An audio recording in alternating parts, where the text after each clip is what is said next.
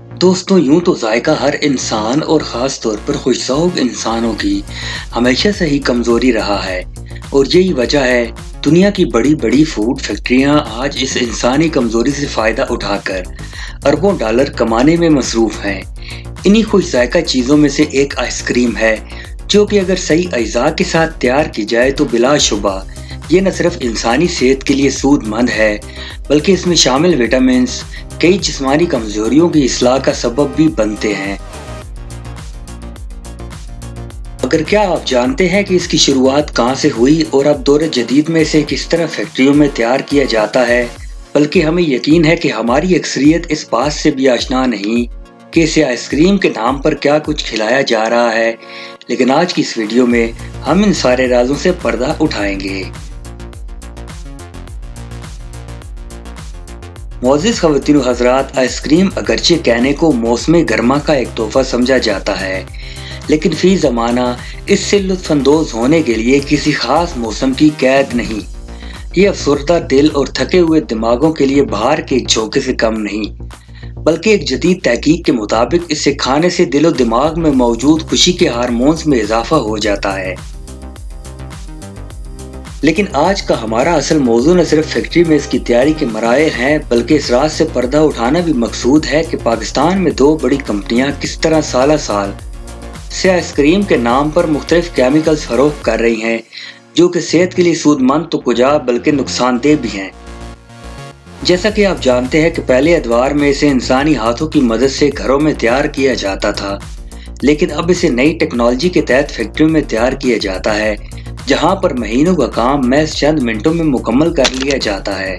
प्यारे दोस्तों, इस काम का आगाज़ फैक्ट्री में मौजूद ब्लेंडिंग रूम से किया जाता है, जहाँ पर सबसे पहले खालिश दूध, चीनी और कॉर्न के पाउडर को आपस में मिक्स किया जाता है, जिसको 30 मिनट तक इस प्रोसेस से गुजारा जाता है, जिसके बाद इन सब चीज़ों को बाम जोड़ने वाले यूमल सिफायर शामिल किए जाते हैं, जिनसे इसको हल्का क्रीमी जायका भी मिल जाता है। और ये स्टेबलाइजर इसको ज़्यादा बड़ा या दानेदार होने से भी रोकते हैं, बल्कि ये इन्हें अज़ा का कमाल है कि वे उसको पिघलने से भी रोक देते हैं।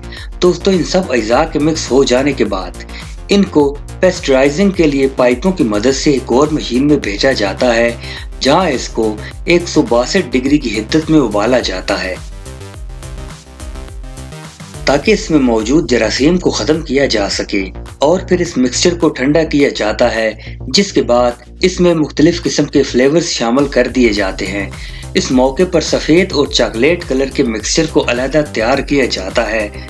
चॉकलेट के मिक्सचर में एक ख़ास किस्म का कोको पाउडर इस्तेमाल किया जाता है, और शायद आप जानते हैं कि एक 125 ml के पैकेट में कैल्शियम और विटामिन ए की भरपूर मकदार शामिल होती है।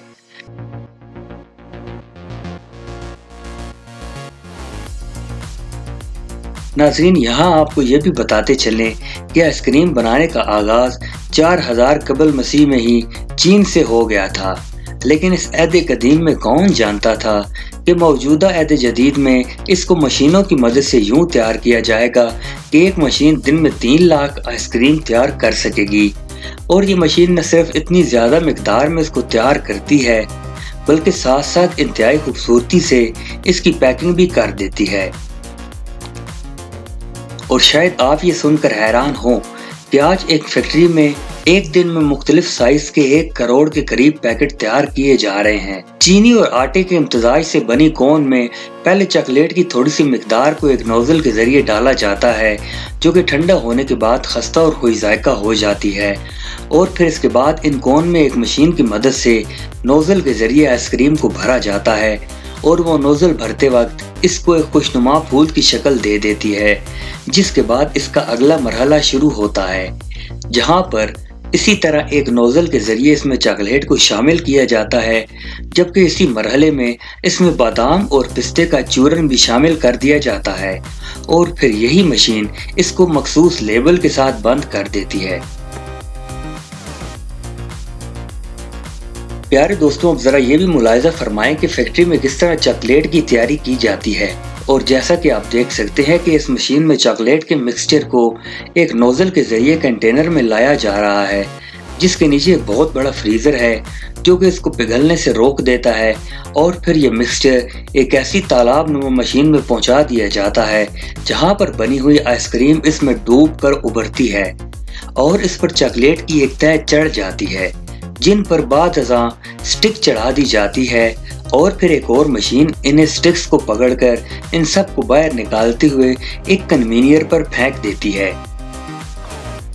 जिसके बाद इसकी पैकिंग का मरहला आता है, जहाँ ये मशीन छोटे छोटे डब्बों पैकेट्स और टबों में भी इस आइसक्रीम को पैक करती है और प्लास्टिक की ये टब आइसक्रीम खत्म होने के बाद भी कई तरह के घरेली कामों में इस्तेमाल हो सकते हैं। पैकिंग के इस मरहले के बाद इनको एक कन्वीनियर के ज़रिए एक और टनल में भेजकर मनफी 35 डिग्री पर रखा जाता है ताकि ये पिघल न सके, जिसके बाद इन्हें मार्केट में फरोख्त के लिए भेज दिया जाता है।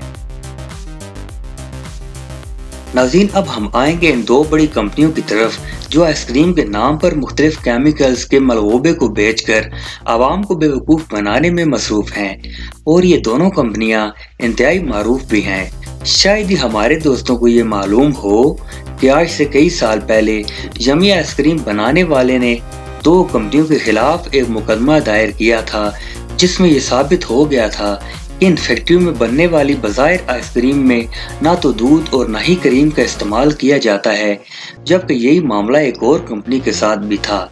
और यही वजह है कि इन दोनों कंपनियों की मसनूआत पर कभी भी आइसक्रीम का लफ्ज नहीं लिखा जाता, क्योंकि इन पर इस नाम के इस्तेमाल की पाबंदी आयद हो चुकी है। मगर इसके बावजूद हमारी सादल व आवाम आज भी इसे आइसक्रीम समझकर ही इस्तेमाल कर रही है। उम्मीद है कि आपको आइसक्रीम बनाने के इस अमल और इसके नाम पर कुछ और चीज़ें फ़रोख्त होने के बारे में हमारी ये काविश ज़रूर पसंद आएगी। पसंद आने की सूरत में मुखबर को सब्सक्राइब करके साथ मौजूद घंटी की अलामत को दबाकर हमें ममनून ज़रूर कीजिएगा। हमारी अगली वीडियो आने तक आपका, हमारा और हम सबका खुदा नेगेबान।